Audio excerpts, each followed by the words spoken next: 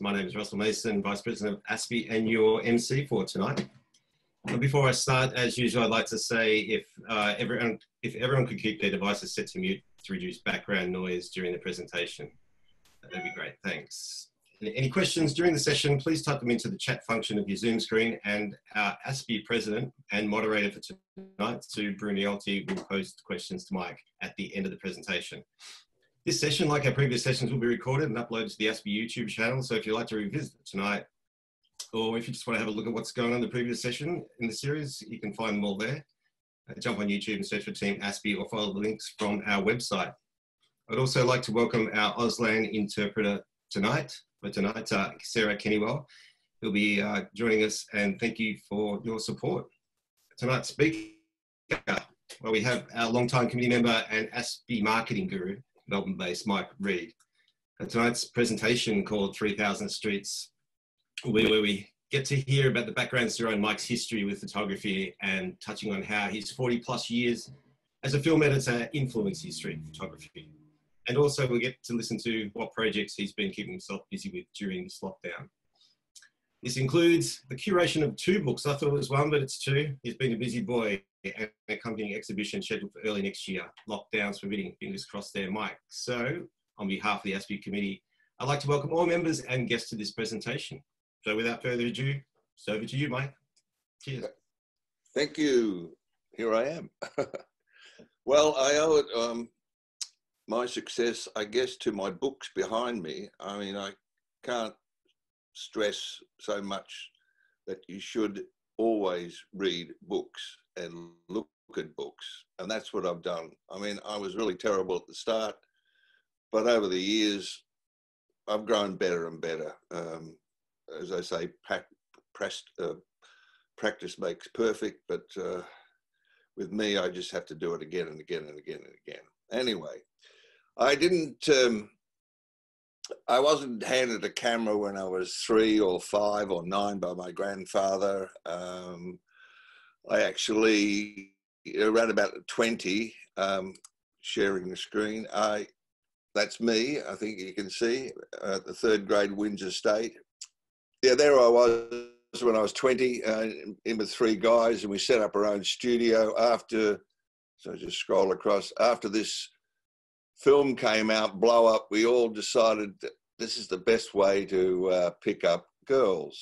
Uh, so we set up a studio and each ran out and bought a camera and away we went from there. Um, you know, some of us bought Nikon, some I bought a Hasselblad with my $3,000 inheritance because uh, my mother had just died. And so uh, I took off with them. But uh, friends bought Minoltas, because of um, David Hamilton in those days, and Sam Haskins were touting Pentax, and Nikon, of course, with David Hemmings. I'll go back to to me. Stop share. Um, right. So uh, you know, then I decided I wanted to get into art direction, um, and sort of wanted to uh, become an art director, but uh, that wasn't going to be because of my mother dying. And so I joined an advertising agency, and through uh, contacts and hard work, I ended up in a film company. And then um, from there, uh, went overseas and with my cameras. Um, but I wasn't that passionate. I mean, I was shooting life and shooting bits and pieces, not not as full time as I'm doing now, but um, uh, I've just got to go and get something else now. Yeah, well, this is uh, America. You know, I really saw that two old people sitting there with us. I thought that was cool. That's another one of my trademarks. You know, looking at the obvious little, you know, um, thing in the wall. Um, uh, that oh, this you see one if you can see a screen on the right. I I, I, quickly uh, I needed to put all these up at the same size, uh, but I didn't. Um, so I'm sorry for that. Um, there's another one with sold, sold, sold, and as you see, one's um, slightly upside down. Um, that one was one of my favourites. With all those cars squashed in, it makes it a little bit obvious that it's uh, squashed. Um, there was a portrait I took within the apartment we uh, rented in Los Angeles in 1973. And as you see on the right, there's another one of my juxtaposed things, which I really liked uh, and, and still do that to this day. Um, and there was another couple, another funny thing, like a parking meter with a seat right in front of it. I don't know why. And um, something I snapped at a Caulfield race meeting. Um, one time I was looking for shots. So, uh, so that's that's there now. Um, I'll, leave that. Hang on. Stop share. Right. Um, I think I'm going too fast, am I? Um, no. um, I'm a bit nervous, so here we go. Um, next, um, so I, I, I spent 40 years in in the cutting room and uh, running a business, and um, ended up with 42 staff and uh, uh, uh, two officers, and I, in the end, burnt myself out. Uh, I'd always carry the camera with me, and uh, at every opportunity, just to uh, let off steam, as it were, I'd, I'd walk around the block, or I'd, you know, walk 200 yards just to punch a wall or take a photograph, you know, just to, uh, because dealing with deadlines and being back room, you know, you were, um, you were pushed and pushed and pushed, and there was always that last minute, uh, I guess, uh, uh, effort to get it to the station or get it on air. But um, uh, what I was going to say, uh, I suppose from all of that, I we were dealing with analog and analog in Australia with chemical, you know, electrochemical processing was terrible. We were so far behind the world. Uh, so in 1992, I embraced um, digital technology and bought the second um, Avid system, a, a digital editing system that worked on Mac. I couldn't I couldn't hack PC because it was just too complicated for me. I needed to just click and drag ch- children's stuff like which Apple sort of afforded us. So um, I embraced that because I then could change things. I, I had complete creative um, control.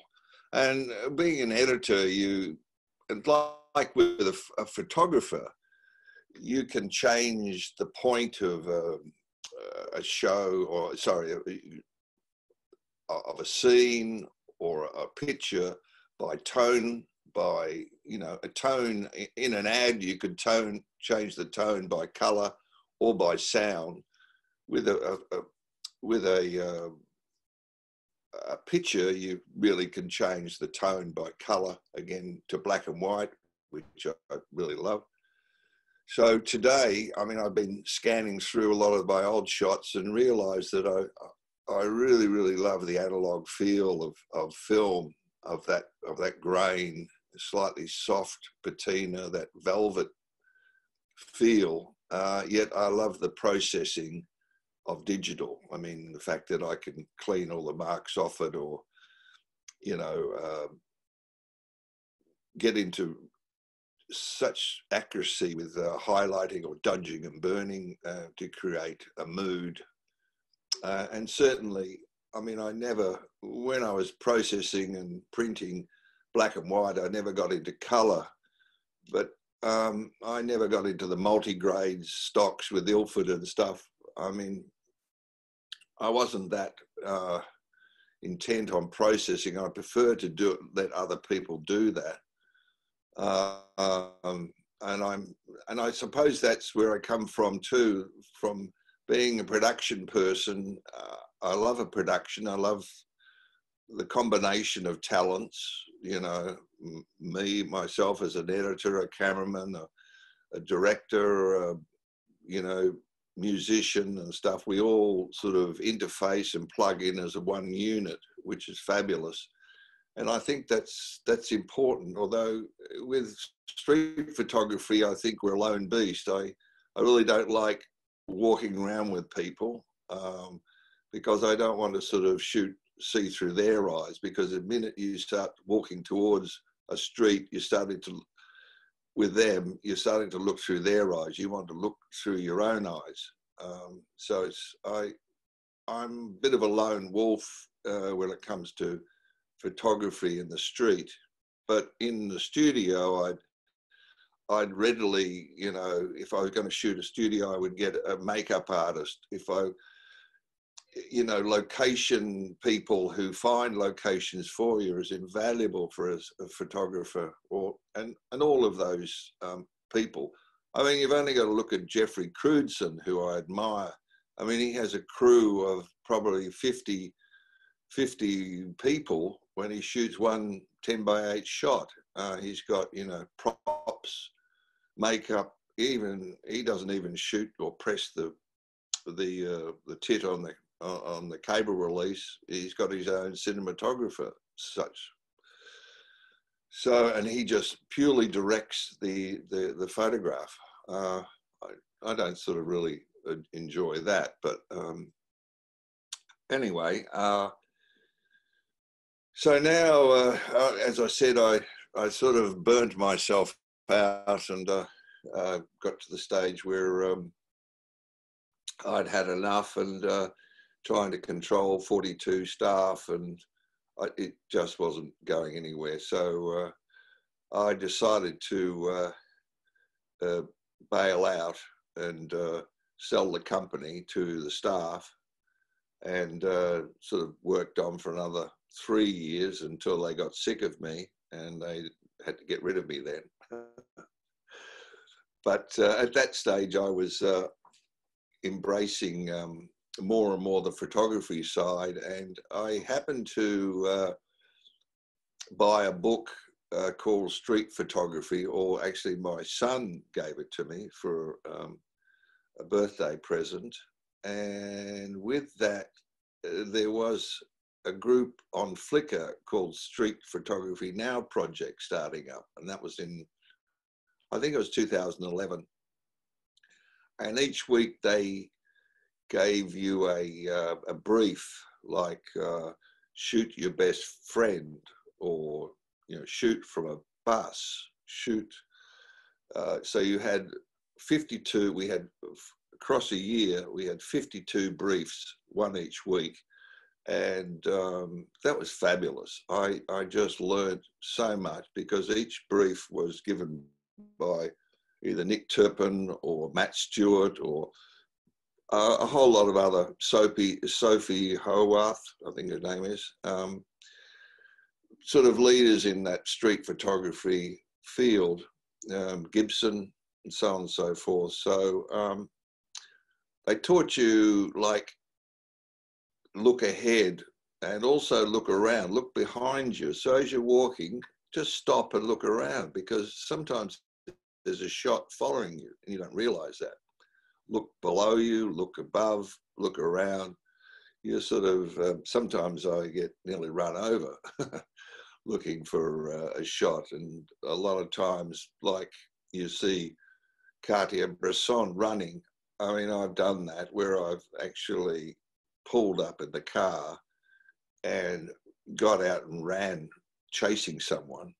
Um, because sometimes you I mean, you can travel a lot faster in a car and you sit, cover a lot of ground. And I certainly did that over the years um, of, in my retirement. And fortunately, my um, uh, one of uh, my daughter, my oldest daughter, she lived in Footscray, so uh, I, I to travel all over the West.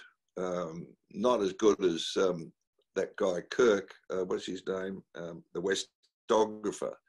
I mean, who's brilliant. If you see his work, he's travelled all over the West. But I certainly found my little bits and pieces. Um, um, so I, I can't complain.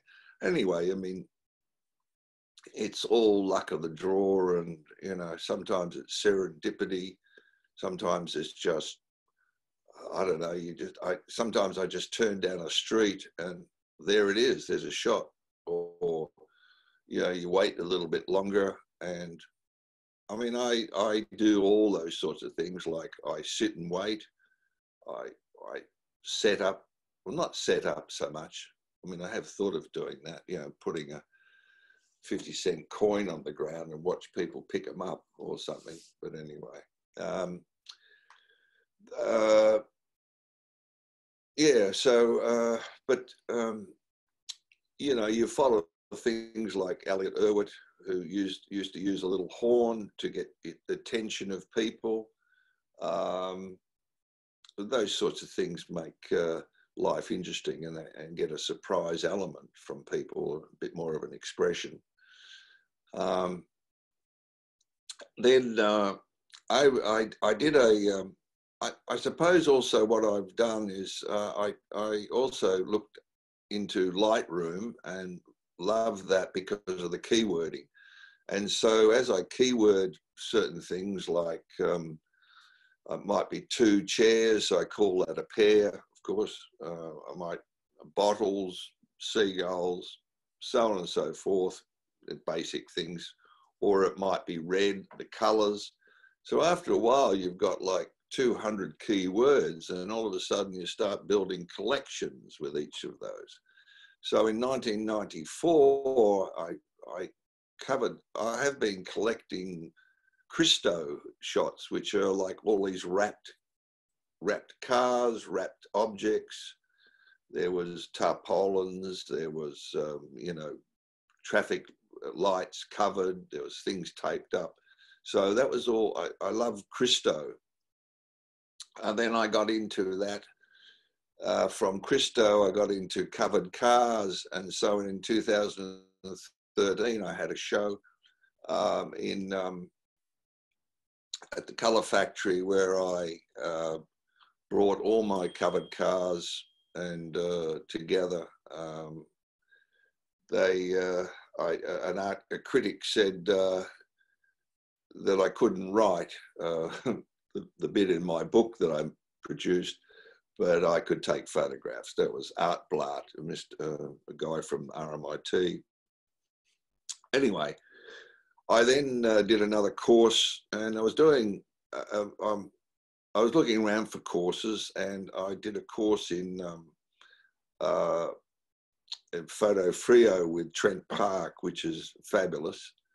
Um, I, I urge anyone to do any course with a Magnum photographer. Um, certainly worthwhile. Uh, and he taught me a lot. And uh, although he, he couldn't, uh, he couldn't understand where I was coming from because I was um, doing odd things with my photographs in terms of how sequence, sequencing them to a poem by Gina Reinhardt. So he couldn't get my his head around that. Anyway, but that's that's all right. You've got to do it yourself, and um, you've you've only got to uh, yeah, you are number one, so you've got to make sure you're comfortable with yourself. I, I don't worry about other people as long as one person's clapping. That's all. it's well worth it. I'm, I'm not a. I don't need the whole world. I set out when I was 20. If I can make one person smile, I've done the job. So, so if I if a lot of people don't understand uh, sometimes the the jokes. Uh, some are obvious, some are not, some are, you know, a little bit kooky, but uh, yeah, then I, I, I then went, tried to get a, another job with, uh, how are we going for time? Oh, okay. Uh, and I went overseas to India for a month by myself. And uh, in that stage, I, I took uh, in one month the uh, the sum of 10 months work. So I normally I was shooting about a thousand shots a month, but when I went to India for one month, I shot over 14,000 shots, uh, which I still haven't edited properly yet. I've got a whole swag of them, but I haven't sequenced them or I don't sort of really, they're just a lot of pretty shots, a lot of color. I mean, you can't go wrong shooting in India, you know. It's, it's a lot harder to try and find these shots in Melbourne um, or any capital city or in, even in a country town like even Geelong or, uh, you know, Bendigo. I think it would be very difficult. Um, I certainly know, you know, you've got to be able to scour the papers and get all these online uh, newsletters and things to, to, really find out a location or where you're going to go. Anyway, uh, so uh, after all this time, I then have got to this point where I thought, hmm, uh, I could put it all together in some sort of sequence rather than and call it when I said 3,000 streets.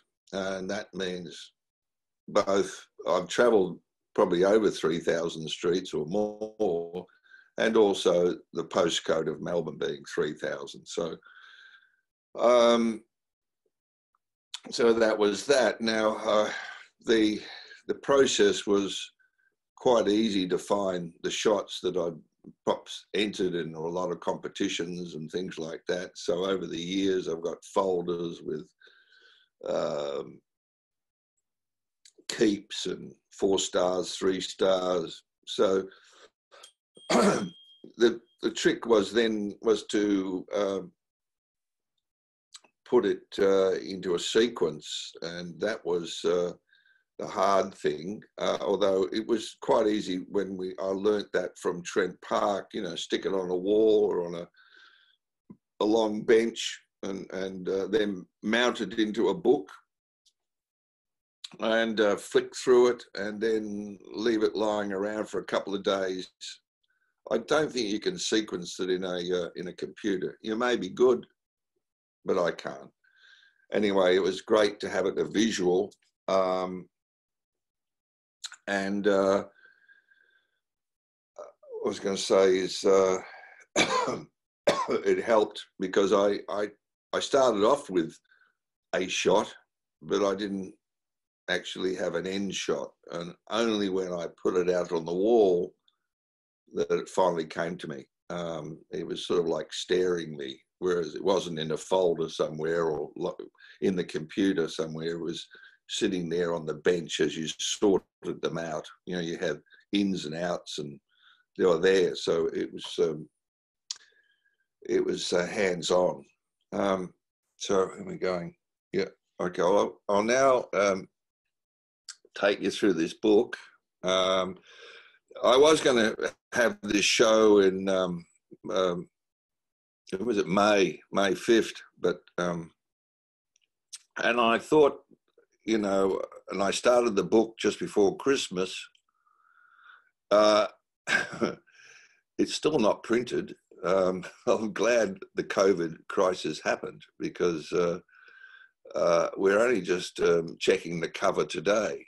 Um, so that's, you know, nine months. So it, it will take 10 or 11 months to produce a book from go to woe, you know, and I've got I've had a guy helping me, um, Stan Jarin, who's pretty good. Um, and uh, yeah, I mean, uh, you, you think it's sort of pretty straightforward, but there's uh, there's little issues, you know, like um, you know, type size, color, you know, and also uh, the fact is that you know, printed sometimes uh, the shots don't look as good. So out of 80 shots, I had to redo about 15. I went through CPL and we did a, a like a, a proof run, you know, 10 by 8s with my uh, corrections. And I think I got about 15 that um, had to be re, just retweaked I started off with this shot because it had won a prize uh, at CCP and uh, as being the humorous show. Uh, I also decided to put um, uh, titles on each uh, in my handwriting. Uh, I I experimented with that because I thought it, it adds people liked it because uh, it added another element of humor, uh, gave him a little bit more. Um, is that one? So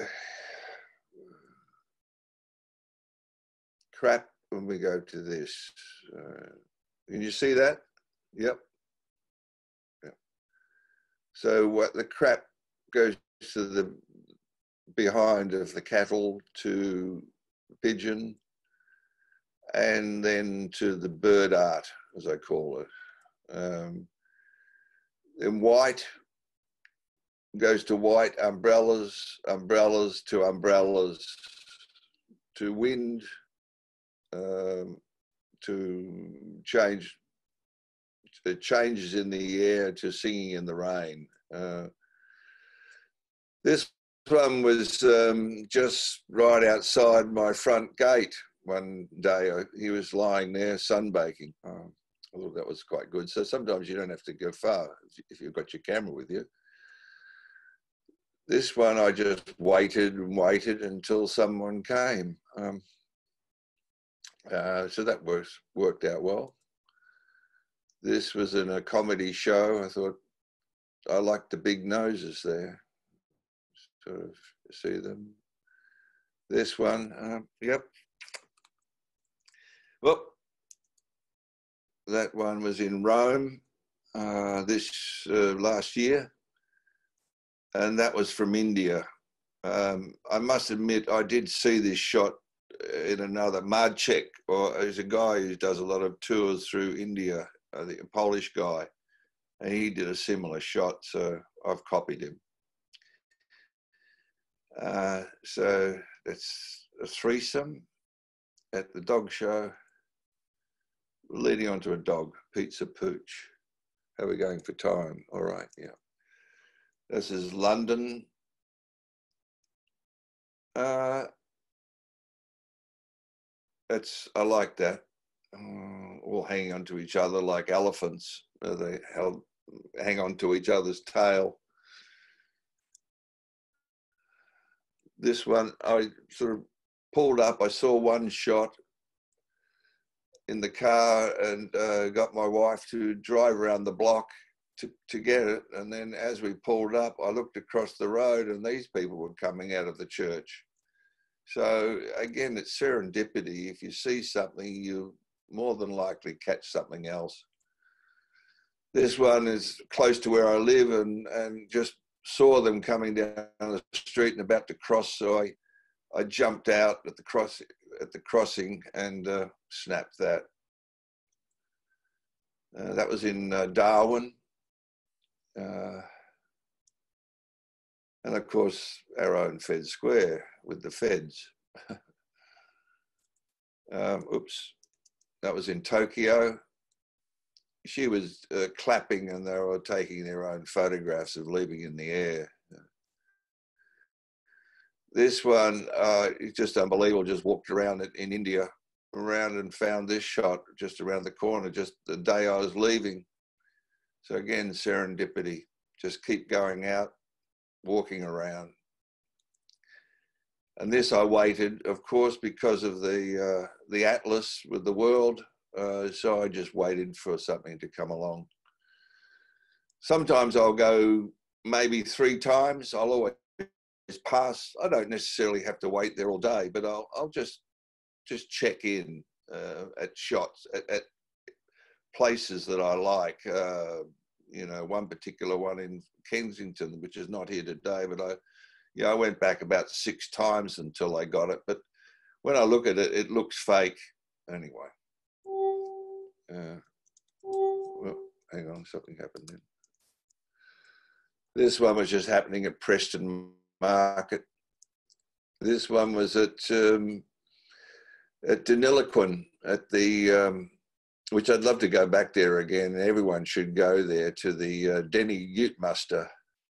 Uh, she was a little bit odd. I love that though. And then I paired that, of course, because she's in a bridal outfit, sort of, and there's another one. And I think she was just wiping some grit out of her eye, but I caught it at the right time, and I called that the wrong man. This one, um, Urban Outfitter Works, sort of. this one, Hot Under the Collar. Uh, this one, of course, on the show and um, a little bit better with the steam coming out of his out of his uh, nostrils. That was in Queensland. That's in Flinders Street. Just seems to work. That was a back alleyway in Camberwell. Again, just wandering around, going up and down lanes that you might never sort of think of going there, but you find something and this just happened one shot and it was gone you know at saigon zoo uh, i was this is i found this looking for covered cars in um, the back streets of sydney and saw this. And this was in um, footscray uh, a memorial. Seems a waste. Um, i went back again to get a better light on it but it had gone. Someone had pulled it down. So again, when you see something, you have to shoot it, even if it's bad light or whatever. Um, I'd turn it into black and white or do something with it. This one uh, I love. It's, I have another sequence called, um, uh, sorry, another book that I want to do called Missing Letters, and this will be part of that, um, where letters are missing or dropped off or stolen or yeah, just worn away. He's just a guy in Fitzroy. This won an award again for humour uh, at the CCP. They seem to like me there. I like that. He was a, in other words, one of those characters that live in the city or frequent the city. I don't know whether he's there anymore. These guys were at Docklands, seems to be doing the this one. Uh, uh, I got questioned about that at Tullamarine Airport. Again, you've got to be quick in and out. Well, going back, uh, I waited a long time for this shot. Finally got it. It's gone now. I mean, the poster. Uh, this was in Hyde Park in Sydney. This guy was just tooling around, just just exercising. I think he loved his body a lot. This guy was at Richmond Citizens Park.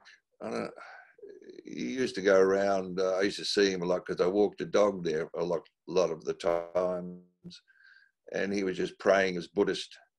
I think he was levitating or trying to. Um, again, another shot. How are we going for time? Yes. I'll hurry up a bit. Um, Babushka, I waited several times for that one. Uh, that was, I liked that, but the sheets, one's a live sheet. This guy, I decided to walk. I was running late and I said, no, I'll, I'll walk to the, everyone could wait because we were going for lunch, uh, for dinner or something like that. And, and there it was, just waiting for me.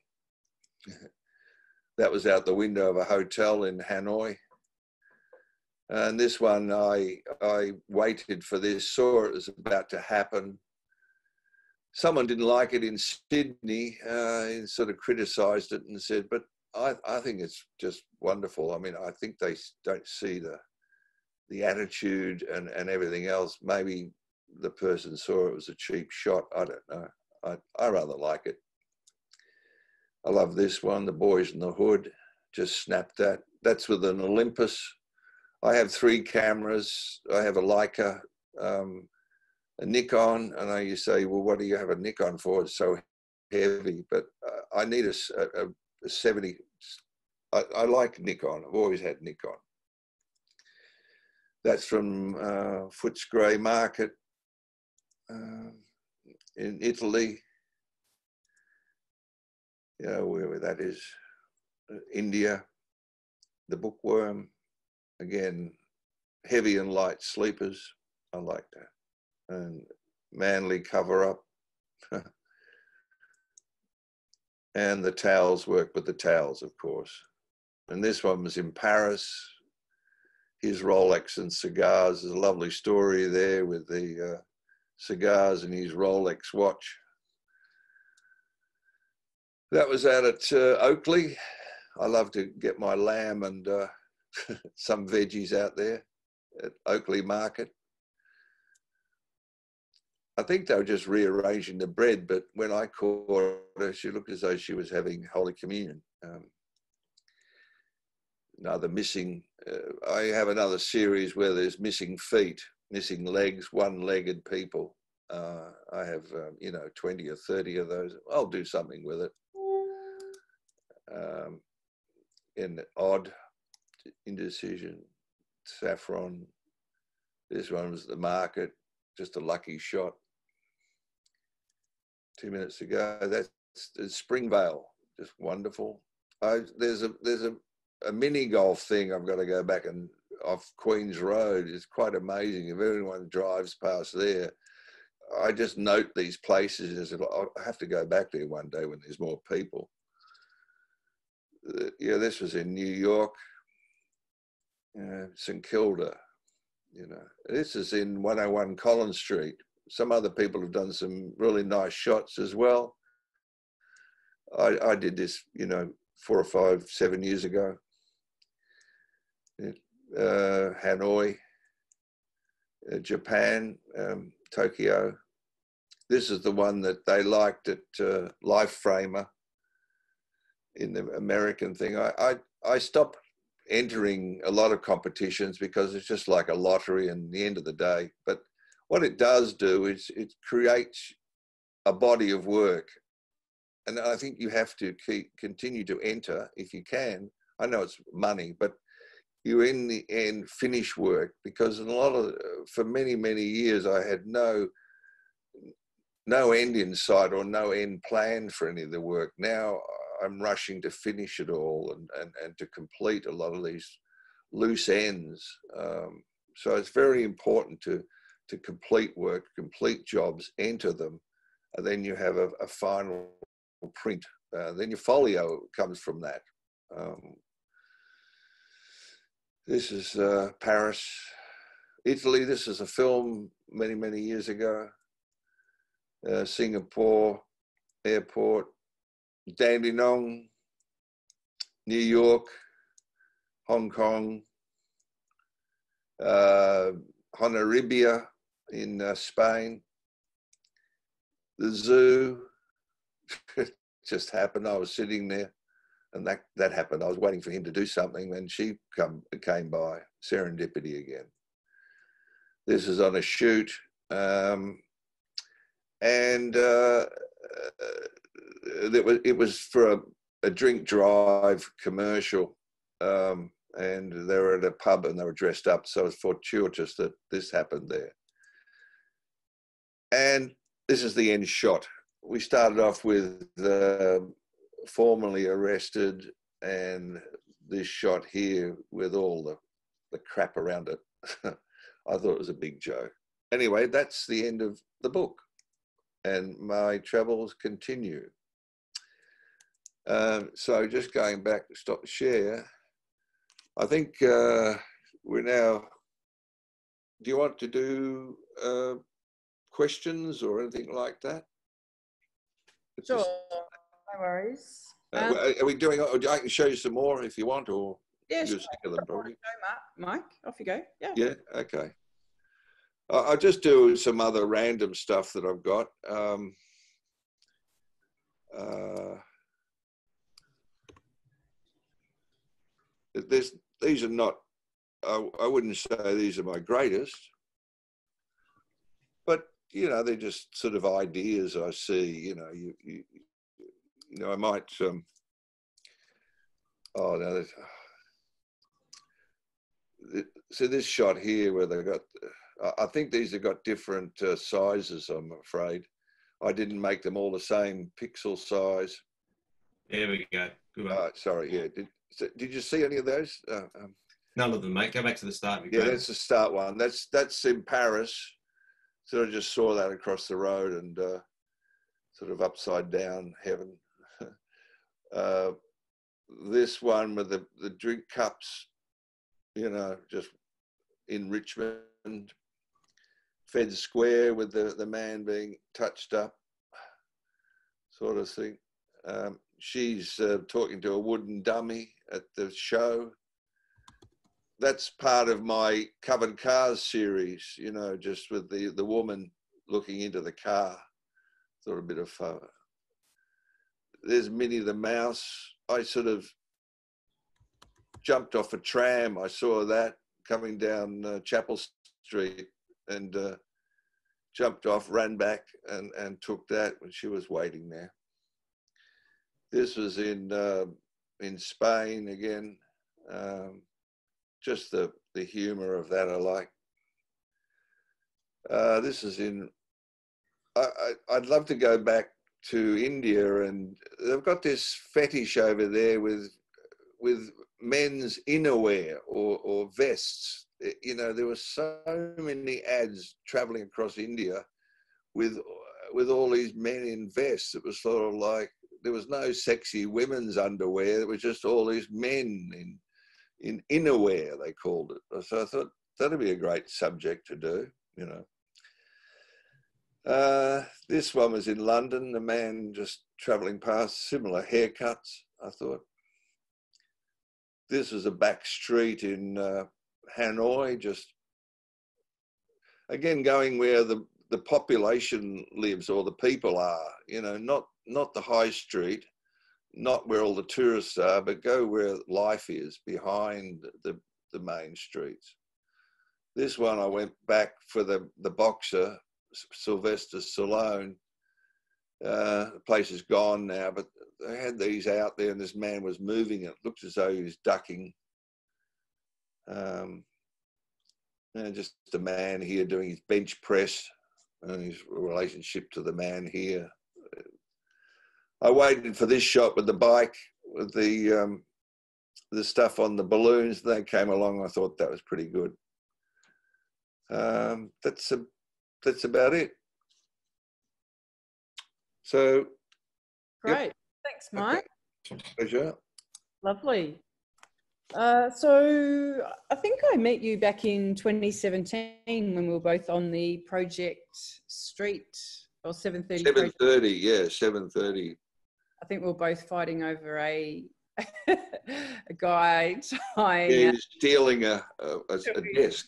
Right. Yeah. Um, thanks so much, Mike. Um. I, guess, I, guess, in um, street photography, we talk about the two F's. There's fishing and following. What would you say your style is? Oh, both uh, oh, the, you know, they say F's, uh, three F's, isn't it? The other one is fuck. You've got to be ready.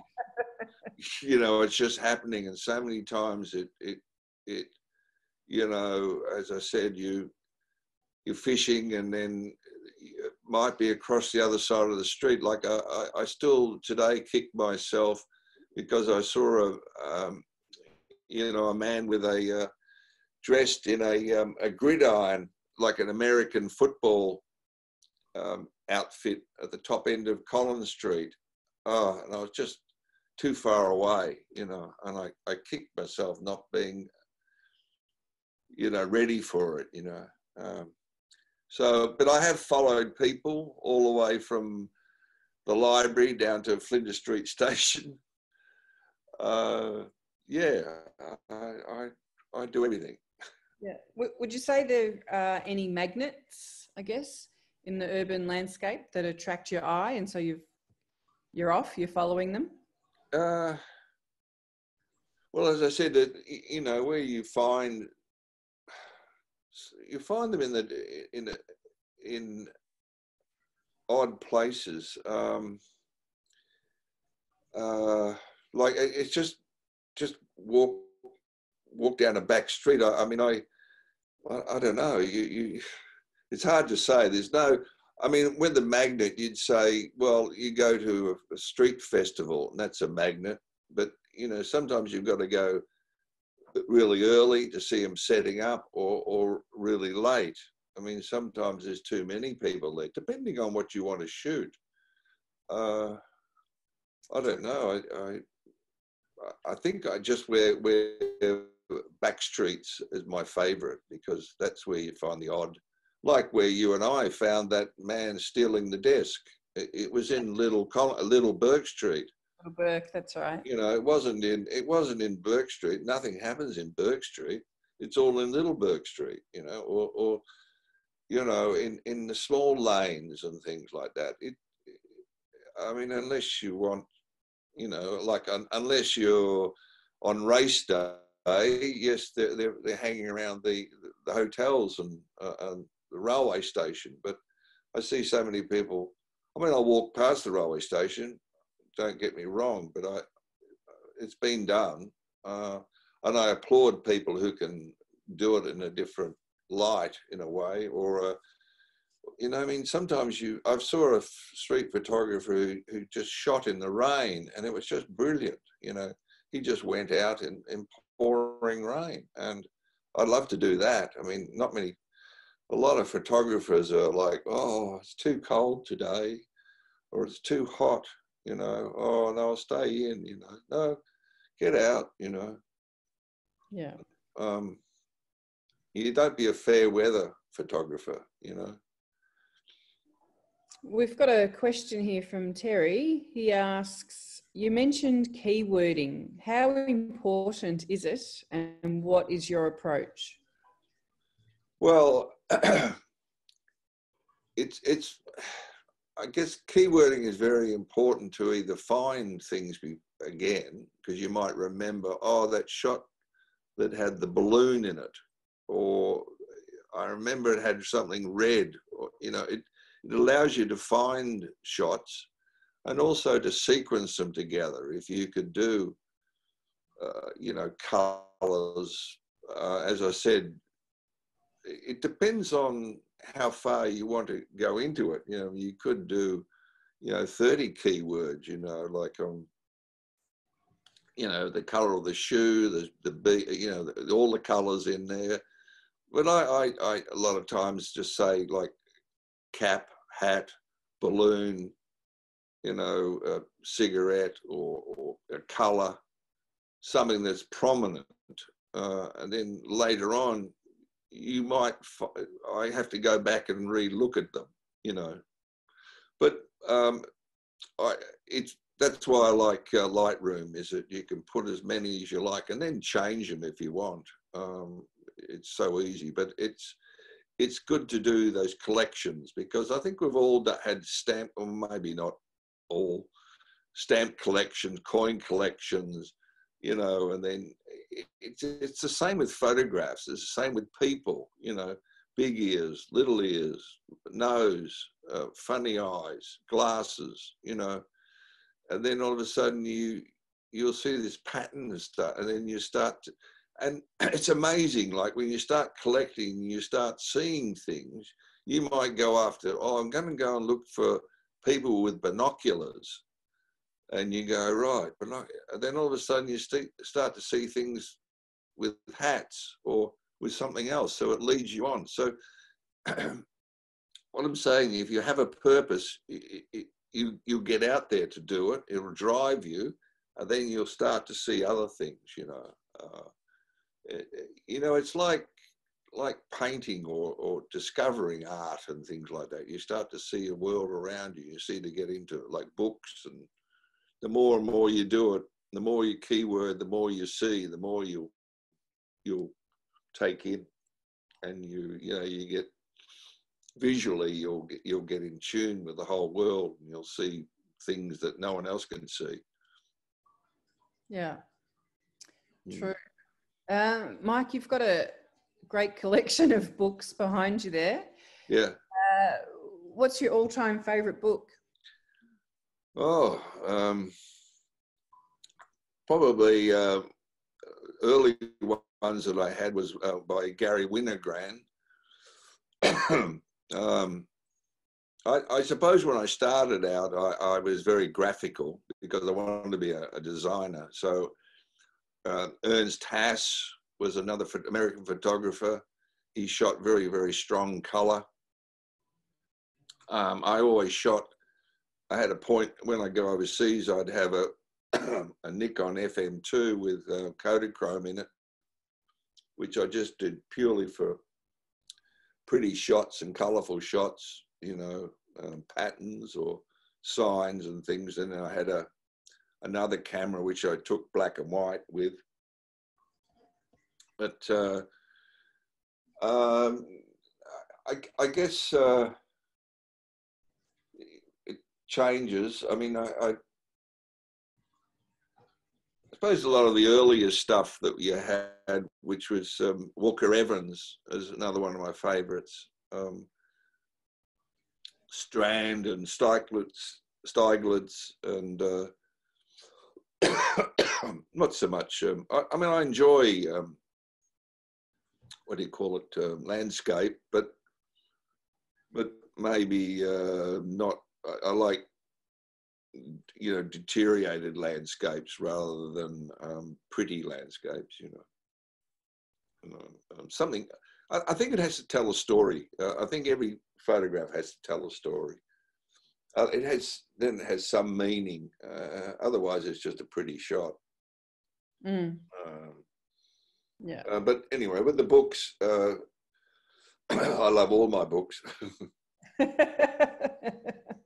it's good to to revisit. I mean, these days I I do collect odd ones, which are um, different productions. You know, with the ones that are concertina books, and different ideas because I'm, I'm trying to embark on this new one where I'm trying to, uh, for late next year, I'm trying to create a road surface on paper. So uh, I'm, I'm trying to use um, different techniques with uh, embossing and debossing. I know, uh, but I'm having a lot of fun trying to push printers and people to uh, to a new um, degree of um, refinement in, in, in trying to create this tactile surface. But I'm, I'm not getting any takers at the moment. I used to do it in film and stuff, and I was able to have a company which really looked after me, but I, I, don't know any really good printers at the moment that will sort of entertain my whims and uh,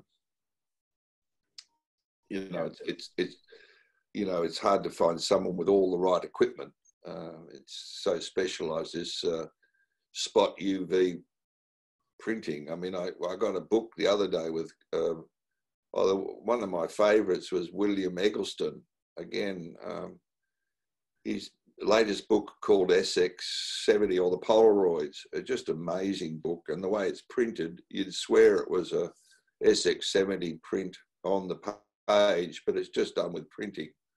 So I hope to do something like that for my um, book called uh, um, Arterial. There's no street photography. It's just it's an art form. I'm, this I'm just sort of I have to get this thing out of my head because I used to shoot all this ground on um, in every uh, capital city where I'd be shooting uh, just the, the ground, the, the road surface all broken up the white lines and jagged this and that.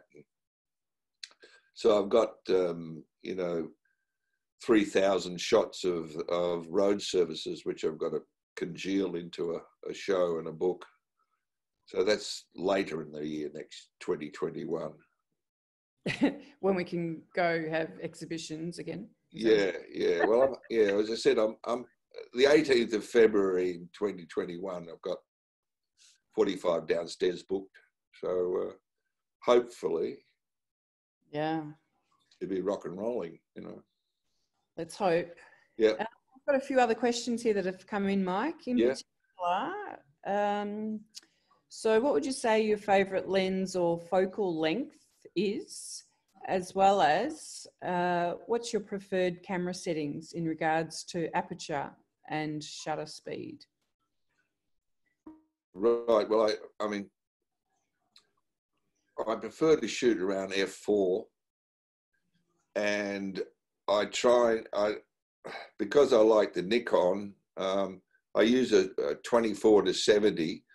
Obviously, I uh, if I'm in close, like a tram, or I'm in in a busy street, I'll, I'll use the 28 mil uh, on the on the Leica, the uh, Q2, which I really love. I, but I also have a um, an Olympus with a touch uh, focus back uh, on the screen and I use that if I'm sitting next to someone I can actually turn the camera around facing him and I can hit the screen and take a photograph without him knowing. Uh, I do that. Um, but what I normally do is uh, I set the the aperture to f4 around about that. Uh, I try not to I try not to let the, the camera go under 125th and I let the ISO range up and down. So uh, I use the you know the computer and the camera to um, take my shot, and I don't worry about grain or anything like that. If it goes up to 12,000 ASA, quite happy. I don't. Um,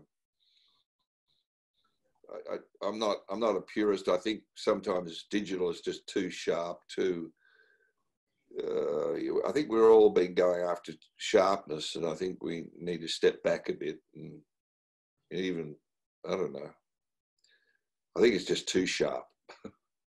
Is I, yeah, what I'm saying is sometimes I, I when I when I dodge and burn, I'm actually manipulating the focus, and I'll actually blur things out, soft, you know, just give it a slight softness, and and just the other day I just sharpened the glasses, just the, the glasses only, and then all the rest was softer. So I just sharpened that and his eyeballs. So when you look at it, you go, oh, oh he hasn't sharpened everything. But you, it looks sharp because you're looking at the eyes. So anyway, but a lot of times I can't hold the camera that steady because I mean a, a Nikon is is quite heavy and I have to jam it against my um, forehead to actually steady it. I learned that trick. But um, but of course, if you're shooting at you know 8,000 ASA at 2.8 or f4 and not shooting below 250th, you're pretty well guaranteed you get it, it, it focus. Yeah. You know, but I'm I'm not you know, I'm not. Um, if it's if you get the shot and it's there, it's soft, it's fine. Right? Uh, as long as uh, I don't know, make it smaller. don't don't blow it up too big. What's another? Any other questions? Yeah, we've got uh, a couple more. So yep. we've got a question here from Betty and she says, "Do you delete the not so good photos after no. you select?" No. So she never, said, never, never. Fourteen thousand you took in India. Never deleted any of them. Wow. No, because I, I learned that where, again, um, good editing. Like I found when I was a film editor, uh, the, the your job is only done when you've gone back through all your rushes. You've got to go back through all your photographs because that's what editing is. You, you, might have picked one photograph for a reason, but when you put it up against another shot in a book, say, or it mightn't live next door to it. Maybe the other shot would. So the one that you maybe was a little bit blurred or but had the right eyes. I mean, I, I don't know. I, I, I am like a magpie. I keep everything. Uh, I, I've seen and I've read in my books where people have gone back and they've seen something in the corner and they've blown it up and it's just been perfect, like birds on a wire, or, or you know, you might the other day I was blowing up something. I said, "Oh my God, look at that! That's just beautiful." It was like an out of focus shape, but I saw it was a man and a hat. But if you could, you, you could blow up. You go through and look at all your shots for out of focus shapes.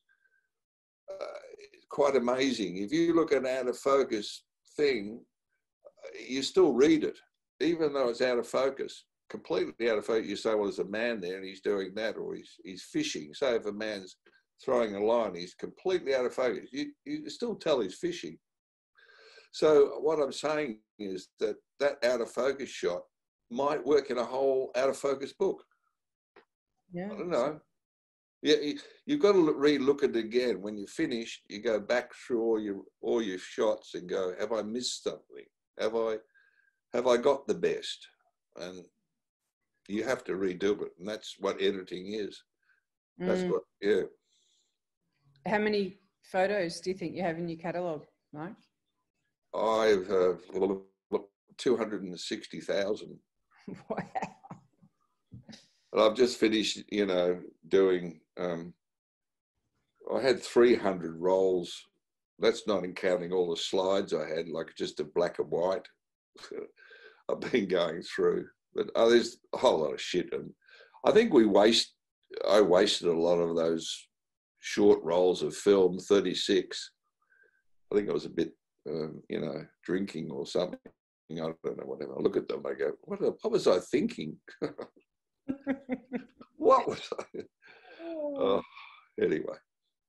Mike, we've got another question here. So your lovely question from Jim. Here, your images have strong threads of humour, irony, and social comment. Does this affect your sequencing? Oh yeah, yeah, yeah. I mean, um, yeah, I suppose of the irony and the humour. I mean, um, yeah, uh, uh, there was a an ironing board leaned against a tree, and I called it an iron bark.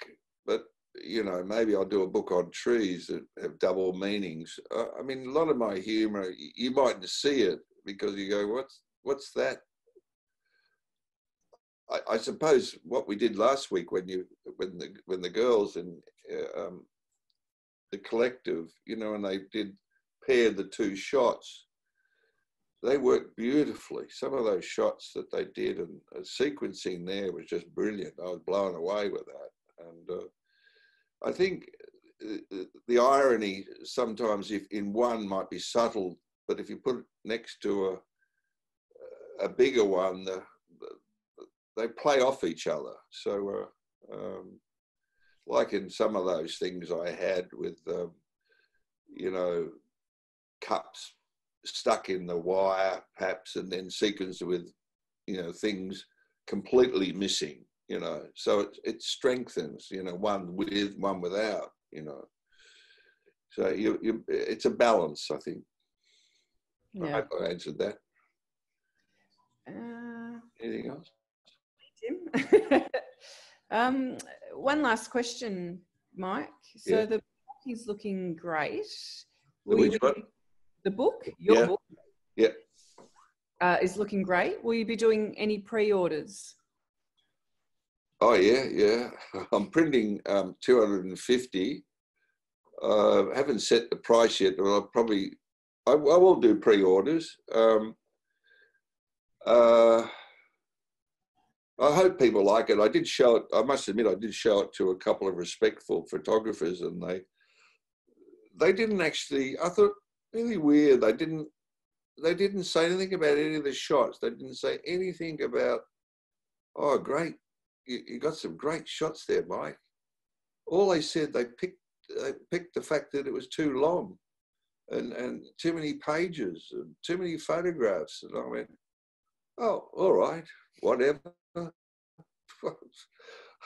they, they they wouldn't even say like, oh, you got really good shots there, Mike.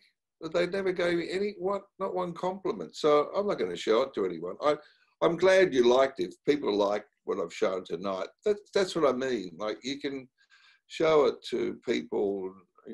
not that I, I don't mind people saying negative things. I learn from negative. I wish people could give you honest feedback. I think today's world, we're getting too many high fives, ticks, flags, thumbs up, and we're not actually progressing. We're not sort of saying, um, why don't you do it again?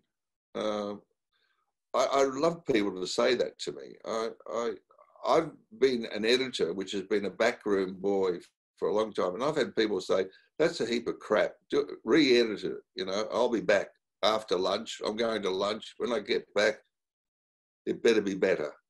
So, I've been criticised. I, I, I think it's good to have criticism. I don't think we all should get ribbons. I think kids today get too many ribbons, too many accolades. They think they can't fail. You have to fail. You have to struggle. You have to, you know, life's not a bowl, of cherries. You know, it, it, you have to struggle. Um, and um, anyway, I I wish you know if people said, "Well, I don't. I think those shots are terrible, or that's wrong, or you." I mean, I don't. I don't agree with sexism and misogyny and and, and yes, that, that's that's things today. But I'm that's. I, I come from another era, so uh, you know I've been growing up with you know sexism and a whole lot of other things. So that's still ingrained in me. I'm not going to change me. Uh, um, and I, I say, well, look, I, I, I, I didn't put the shot of the slippery when wet in the uh, in the exhibition because it might offend someone. So I've taken that out of the exhibition, but it's in the book. You know, if you don't like it, you can glue the pages together, right? I don't mind. but anyway. How many pages? is the book? Uh, it's 80. And I was told by these two well known, and you all know them, uh, they said it should be 50 pages. I don't, I don't know how you get to 50 pages, you know. Anyway.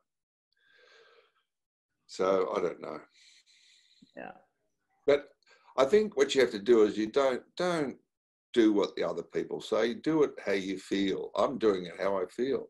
This is me. This is my humor.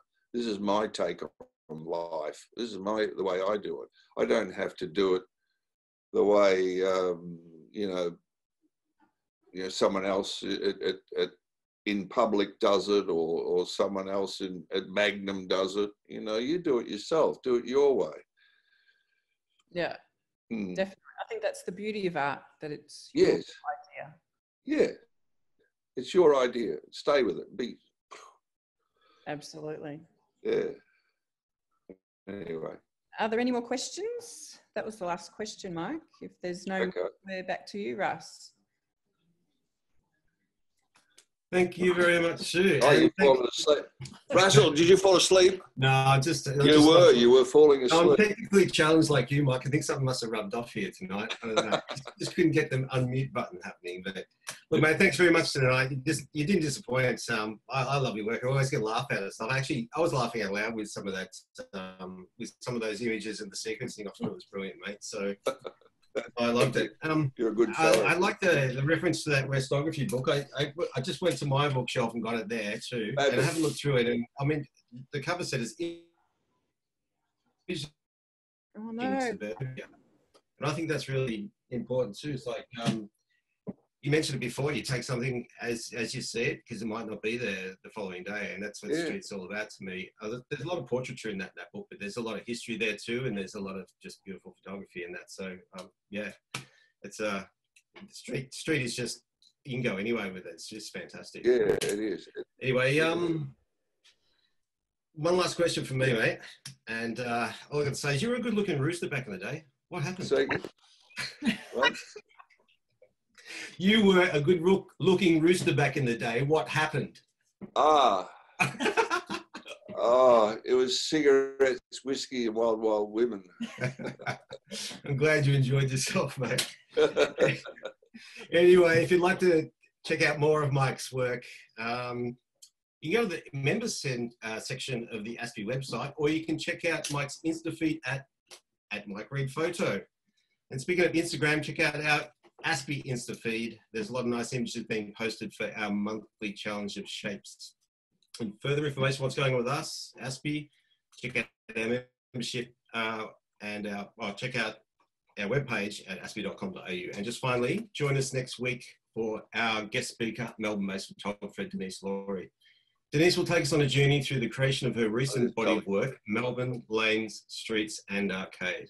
Uh, Denise is a conceptual artist and she will share how she uses street photography genre to explore her concepts and ideas. So uh, join us at the same time next week for another entertaining evening. So see you all then, stay safe and good night.